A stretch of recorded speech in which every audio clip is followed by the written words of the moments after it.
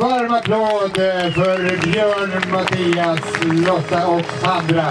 Och därmed gott folk så har startskottet gått för våran show ikväll och jag lovar att det kommer bli en eh, oförglömlig eh, kväll tillsammans. Och jag hoppas att ni är med och hjälper till och applåderar fram våra ryttare här ikväll. På banan så ser vi att det står en mängd föremål